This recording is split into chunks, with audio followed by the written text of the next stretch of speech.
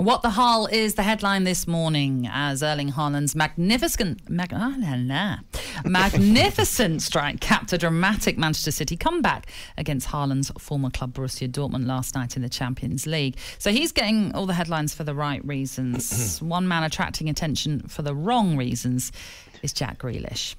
Against Borussia Dortmund, Gabby, these were his stats.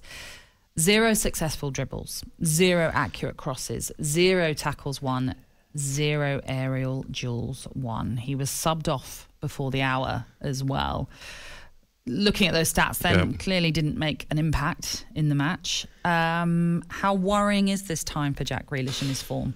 So I was watching the game. I had um, the Rangers game on my phone and on, on, on my iPad. I had the Man City game, and I felt sorry for every Manchester City player last night because they were playing against ten buses behind them. And I've played in games myself where you play teams and and you know there's no space. Jack gets the ball. He's got three players around him. Mahrez got the ball. There was players around him, not be able to create anything. Haaland didn't touch the ball till he scored. Kevin De Bruyne was off it when he got the ball. There was bodies around him. So I don't look at them stats. I look at a game that I watched and Dortmund were outstanding defensively, covered the spaces. Whenever a Manchester City player tried to cross the ball, it was first. Um, it was a Dortmund defender who cleared it first. So sometimes you can look at stats and think, "Oh, I bet that wasn't the greatest performance." When you actually watch the game, you understand that it's difficult for Manchester City sometimes. Every game they play, they've got to break down.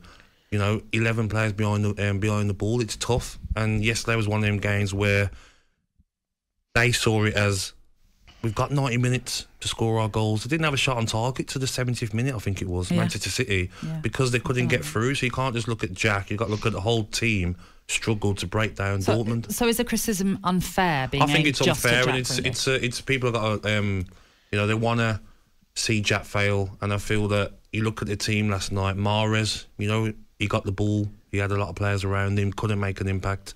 Sometimes you've got to give credit to a team like Dortmund who had a defensive um, formation. And sometimes it's hard to get past it. And City struggled until Dortmund got tired and they um, got their two goals. It's a funny one, Gab. I'd love to know. I'd love to know Jack's thoughts, and I would love to know Guardiola's thoughts. I'm not sure we'll ever get to hear the real, honest version of their thoughts right now because I don't think. Maybe I'm wrong. I don't think Guardiola sees it as big a problem as perhaps we're making out. Uh, and by that I mean Guardiola totally recognises that the most important thing thing by a country mile is the team and Yeah. the team's performance and the team's results.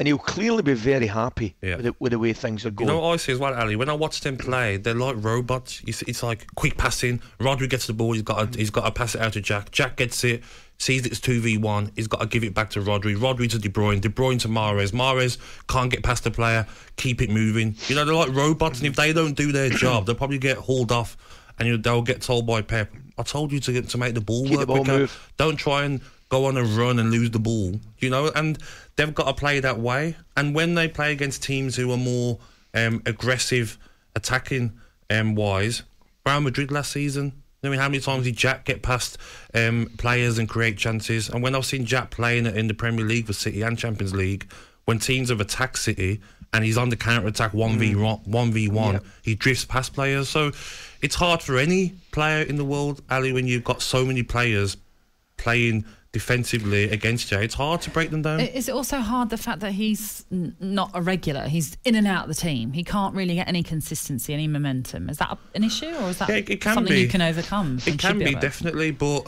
honestly, watching the game last night, now I'm like, I felt sorry for every Manchester City player because every time they got the ball, it was like they were so cleverly um, coached Borussia Dortmund, and we'd been there, Ally, when we played Man United back in the day and Chelsea. I, I was playing centre forward, and I'm in my own half defending. Yeah. you know, I'm marking.